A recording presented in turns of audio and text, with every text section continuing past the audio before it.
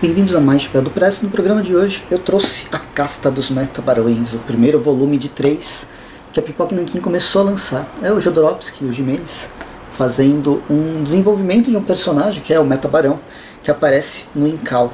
Lá é um personagem bem interessante, é um caçador de recompensa, um mercenário que está na, na galáxia, é o último é, metabarão que existe na galáxia.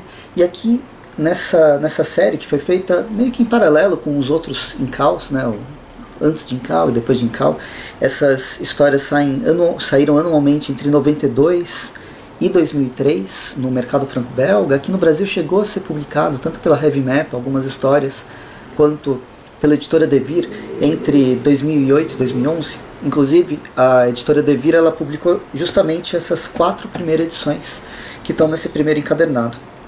Então, nesse, nesses bastidores de, de publicação, a gente tem um desenvolvimento maior do universo do Incal, que é um futuro bem, bem bizarro, bem psicodélico, que é interessante, ele tem algumas coisas bem legais, e eu já fiz vídeos pra, sobre os três Incais aqui no, aqui no canal, depois vocês veem, eu vou deixar linkado os vídeos. Bem, quando o Pipoque Nankin anunciou a casta dos metabarões, eu fiquei bastante bastante esperançoso de ver a revista, né, com uma expectativa bem grande, porque eu ouvi falar muito bem dessa história. E agora pelo tom, vocês já vão ver e já vão é, me colocar no cancelamento, porque Casta dos Metabarões, por muitos, é considerado um mega exemplo de, de ficção científica e tal, com guerras, é, questão espacial, sociedades, mas para mim foi um porre muito aborrecente uh, o desenvolvimento da história. Eu gosto, eu tô com uma relação de amor e ódio com o Jodorowsky. Eu gostei do primeiro Incal, não gostei do antes do Incal, gostei do depois do Incal, gostei da outra revista que eu falei, o Juan Solo que eu falei faz recentemente, estou olhando aqui para trás que eu estou vendo a, a, Lombada e agora a Caça do Meta, dos Metabarões. Eu não gostei por vários motivos. O desenho do Jimenez ele é bom pra caramba, ele tenta trazer essa coisa mais realista do traço e tal, mas os roteiros foi complicado. Bem, além desses é, dessas oito edições, tem alguns especiais também, que é justamente o que a, a Pipoca Nankin vai trazer nesses três, três volumes, né? Volume 1 é, volume um foi finalzinho, chegou na verdade no começo de janeiro aqui para mim. É, volume 2 deve vir para o final do ano, volume 3 ano que vem, ou talvez no meio do ano, volume 2, final do ano, no ano que vem, volume 3, enfim. Mas ainda vai ter algum material inédito, que são mais oito volumes, foram lançados entre 2015 e 2022 com Jerry Friesen e o Nico Harricon nas, no roteiro e desenho. Então já não é mais Jodorowsky e, o Jimenez. Enfim, o roteiro, a, a história é estruturada para explicar quem são, quem, o que é essa casta dos metabarões, quem que eles são, quais são os seus, os seus antepassados.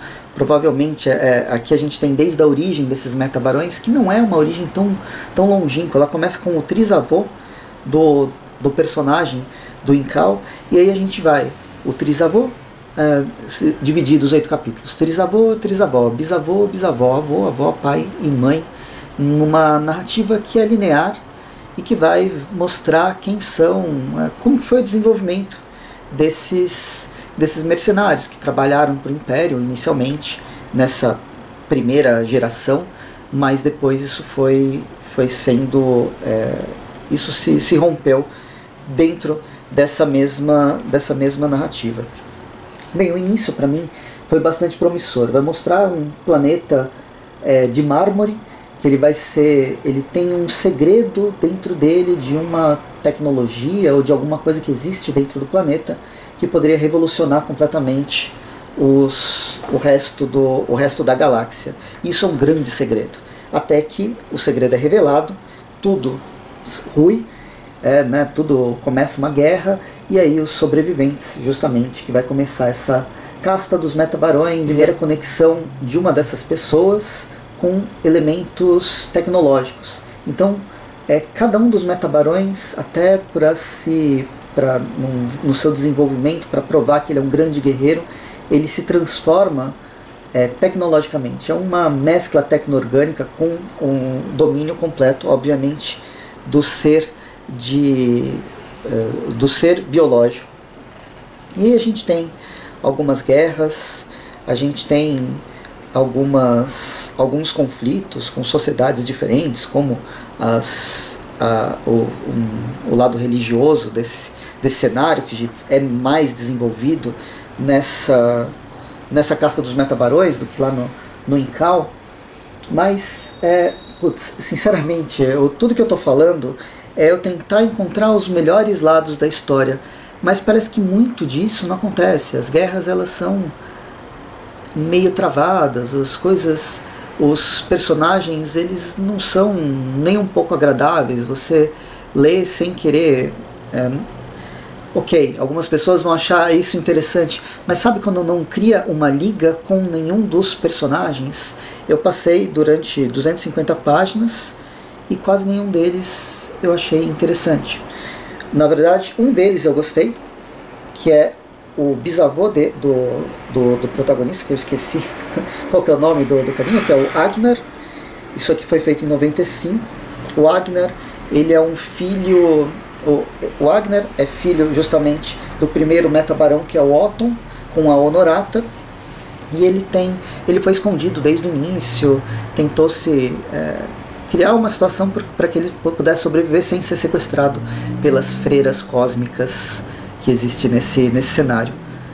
Esse foi um personagem que eu gostei mais, mas o Otto ele não cria simpatia, não é que ele seja ruim. E as, a personagem, a mãe dele, que é a, a Honorata, ela é uma personagem bastante bastante irritante. Eu achei o, o tipo de personagem muito mais ligado para uma vilã do que para uma heroína. Tem um, todo um, um desenvolvimento que também ocorre de uma forma muito quebrada. Existe uma revelação em determinado momento que você acha, nossa, que, que interessante, mas também melodramático. Existe um tom de melodrama muito forte. É um grande novelão, a, a Casta dos Metabarões. Toda essa. E a, o apreço pela vida só pelo apreço da vida deles próprios, sem ligar muito para o resto. A história é narrada por dois robôs que idolatram o seu o metabarão, que é o seu, o seu dono. Enfim, é, a história, a, no fim, ela vai se desenvolver mostrando como que os metabarões nasceram, né? Essa, esses mercenários nasceram primeiro ligados ao Império, depois separados do Império. Mas uma das coisas que mais o o desenvolvimento ele é chato. Eu achei bastante chato, achei é, sem na, nada interessante.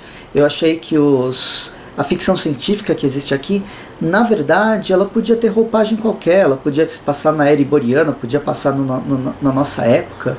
Existem é, criaturas tecno-orgânicas, existem baleias que boiam no espaço e que são naves, existe raios cósmicos e pessoas com enxertos de, de metal e tecnológicos, mas no fundo, no fundo, é um grande.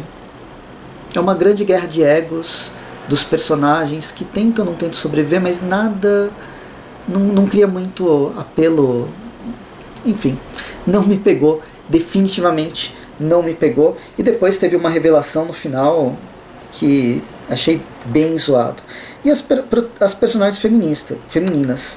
Aqui a gente tem duas, e a estrutura é essa, com o nome, né? Otton, o trisavô, depois Honorata, a trisavó, Agnar, o bisavô, Oda, a bisavó. E é simplesmente aleatório isso, porque as, as personagens femininas, elas não são definitivamente protagonistas daquela história. Elas são é, usadas, elas são até estereotipadas, elas são estereótipos de vários tipos femininos levados à enésima potência, tanto a Honorata quanto a Oda. A Honorata, então, nossa, que personagem que eu realmente achei tosca. Enfim, é, como eu disse, eu me abri para ser completamente cancelado, que eu sei que, nossa, uma casta dos metabarões, todo mundo gosta, todo mundo adora, e que para mim foi, foi uma leitura bem travada, bem difícil. Eu fiz umas eu, enquanto eu estava lendo, eu estava pensando como essa, esse roteiro, essa, esse melodrama espacial mal desenvolvido, só anunciando que teve conflitos, teve guerras, mas eles mesmos não. É, um ou outro, ou dois acho que teve alguma, algum desenvolvimento, eles não são. Eles parecem alguma coisa que foi produzida na década de 60, por exemplo. A ficção científica, como eu disse, é, é qualquer, qualquer skin podia, podia funcionar. E num paralelo eu fiquei lembrando como Storm está sendo lan lançado pela editora Tundra, que sim, foi lançado na década de 70 e que tem alguns elementos bastante é, previsíveis, principalmente o primeiro volume, mas ele me criou uma vontade de ter, de continuar a ler, muito maior que a Caça dos Metabarões. E no final do ano, para decidir o que, que eu levava, o que eu não levava, acabei pegando Casta do que o Storm Volume 3 e me, meio que me arrependi. Agora vou ter que ir atrás do Storm Volume 3, que vale bastante a pena. Enfim, já chorei demais. Espero que vocês tenham gostado do vídeo. Quero que vocês falem. Vocês leram Casta do Meta, dos Metabarões? O que vocês acham do Jodorowsky? A arte não tem o que falar, eu acho que a arte é muito legal. As imaginações para as tecnologias que foram criadas, os personagens e tal, toda essa esse desenho, ele é bonito. Ah, apesar de ser um desenho é, que agora não chama tanta atenção quanto chamava nos anos 90. Pensando que isso aqui foi feito nos anos 90, a gente não tem a tecnologia. É, é, como é que chama? A tecnologia de desenho digital, de reflexos, iluminações, que atualmente é mais comum acontecer. Mas é um desenho muito legal. Porém, o roteiro do Jodorowsky definitivamente não, não me agradou. Então, enfim, comentem. Já leram Casta, não leram?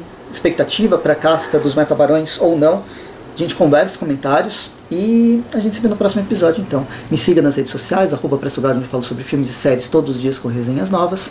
Tem também o link da Amazon, qualquer compra no link da Amazon ajuda muito o canal a sempre trazer coisas novas, arriscar coisas certas que todo mundo vai gostar, mas que no fim eu acabo não gostando e também trazer histórias que talvez muitos de vocês nem saibam que está sendo lançado e eu acabo descobrindo por causa do canal. Enfim, é, é, isso. Tem também o Fortaleza Quântica, que é o podcast onde eu amigos meus a gente conversa sobre filmes, séries, quadrinhos, faz entrevistas, são episódios atemporais com várias recomendações e várias discussões. Então procure Spotify, Encourage ou qualquer outro agregador de áudio. E é isso. Vou ficando por aqui. Até mais e bons quadrinhos.